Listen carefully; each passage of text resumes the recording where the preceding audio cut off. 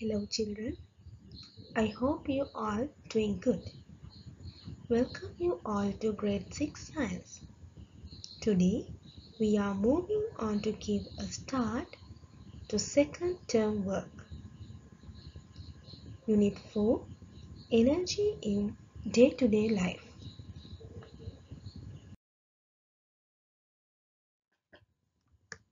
Yes, before starting the lesson, I would like to ask some questions from you all. First one. Just imagine when you are in a morning assembly, sometimes you feel dizzy or fainting. Why is that? Yes, so many reasons are coming to your mind right. Yes, maybe lack of food and water. So, my second question is why do we eat food? Yes, obviously, to get energy. Now you have an idea about that we need energy to perform our day-to-day activities. And also, if we are lack of energy, we have to face so many difficulties. Okay, now we know we need energy to do day-to-day -day activities. Here, I have given some examples for activities. Pulling a log using a rope, carrying heavy load, loading of goods to a vehicle. So, to do all these activities, we need energy. That means Without energy, we are not able to do any activity well. So, we can define the term energy as the ability to do work. So, here now you can see some energetic activities carrying heavy load and running.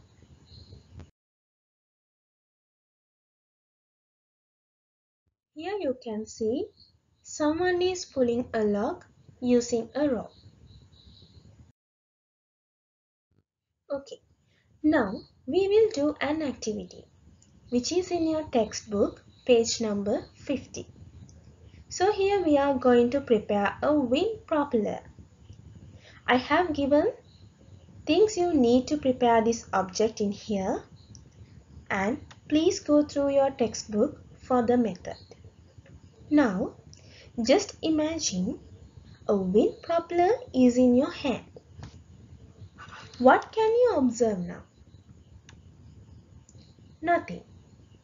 That means it will remain without rotating. Now, take your wind propeller near to a fan. Now what can you observe? Yes, it starts to rotate now. Again, switch off the fan and observe it. It stopped. Now you can understand when there is wind, only the wind propeller starts to rotate. That means wind propeller got energy by the blowing wind. Here you can see a picture of wind propeller and after we are taking it near to a fan. Hello children. I hope you all doing good. Welcome you all to grade 6 science. Today we are moving on to give a start to second term work. Unit 4 energy in day-to-day -day life.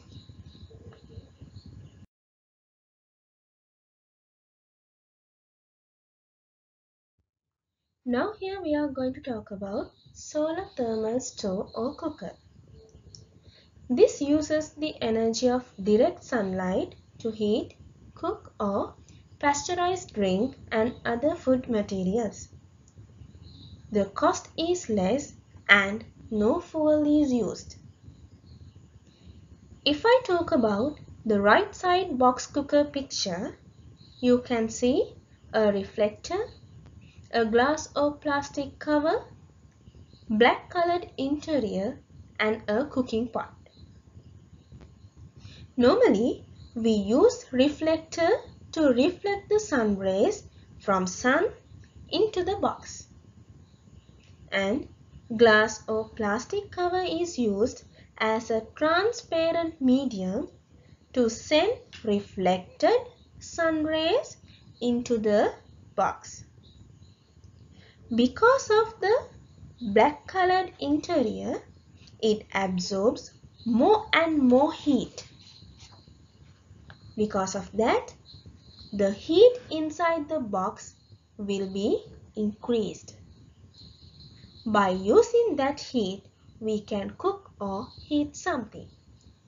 That is the main purpose and main purposes of using those parts.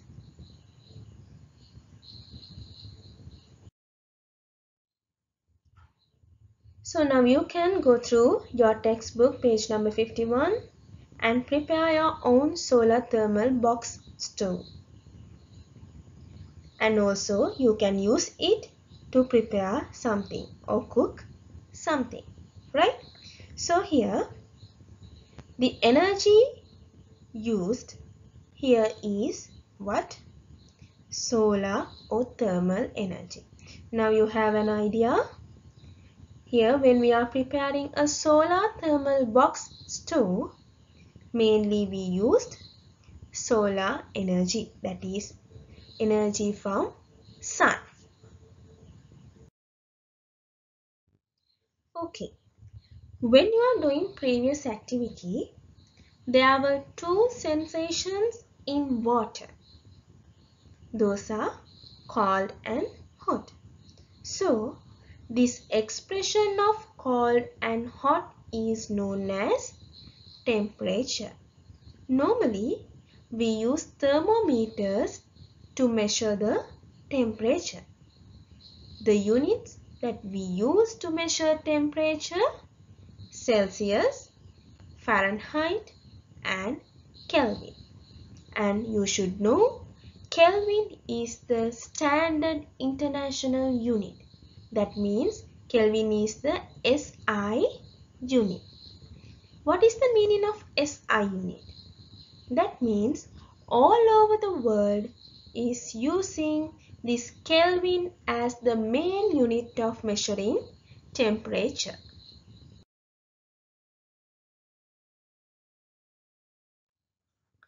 In this slide, I have given some more types of thermometers mercury in glass thermometer and also digital thermometer.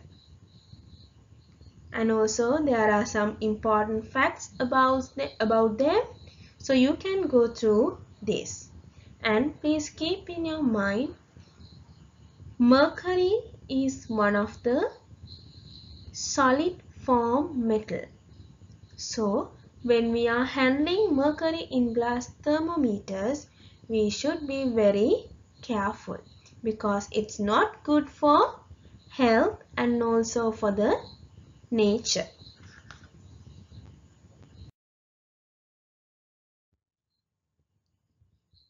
Now we have already done two types of energy sources. What are they? Sun and wind. Apart of these two, there are so many energy sources. What are they? Now you can see there are so many energy sources in this slide. Sun, biomass, fossil fuels, wind, running water, sea waves, tidal waves, geothermal energy and nuclear energy. Before starting about the other energy sources, I have given you a small activity. So here, you have to find what are the sources of energy that we can use to do these activities. I will tell you one. Okay, if we take the first activity, cooking, what are the things that we can take as the energy type, energy source? Yes, normally at home we are using LP gas and also we are using dried woods, coconut shells and also now you know about sawdust stove. Okay, so here we can write coconut shells, dried woods and also LP gas as the sources of energy that we can use to do cooking. Like that, now you have to write what are the energy sources that we can use to do the following activities. Types of energy sources. Now we'll see about these energy sources one by one. First one is sun the main natural energy source. Sun is essential for the existence of life on earth. I have given some examples. First one, to produce food in green plants, drying grains and clothes. Solar water heaters are used to heat water. Solar panels are used to produce electricity. If we talk about the first example, what is known as photosynthesis process? Yes, photosynthesis process is the production of food in green plants. You have already learned about this process in unit 1. So here in this process, energy from sun, solar energy is contained in food as the energy source. Here you can see a picture of photosynthesis process in right corner. There the main efficient components are light energy, carbon dioxide, water and the presence of chlorophyll in the plant. So then we have all these components only we plants can do photosynthesis process and produce oxygen and sugar. Here you can see a picture of solar water heater. By using solar heat, heat absorbers, solar heat can be absorbed and transferred to the water tank. And we can convert cold water into hot water. And also I have put some pictures of drying grains and drying clothes here. You can have some important facts on Sun by reading this slide too about its diameter, mass and also total mass. This shows how can we convert solar energy to electricity. Solar panels are located on the rooftops and they absorb solar energy during the daytime and their absorbed sunlight is converted into direct current electricity and that direct current will be converted into alternative current before the distribution. We can use this power or electricity during the night time. So that is the main importance of using these solar panels because the cost for these productions are very less. Okay, now let's see what is biomass. Plant or animal materials which can be used as a fuel are known as biomass. Here I have given you so many examples for biomass. Firewood, coconut shells, coal, rotten vegetables, hay, sawdust, rice bran, rotten food materials, agricultural waste. Biomass also contains solar energy. Now we know during the photosynthesis process plants absorb sunlight. So that means plants contain solar energy. And as we like animals are heterotrophic, we depend on plants directly or indirectly. That means we animals also contain solar energy. That's why we can say biomass also contains solar energy here.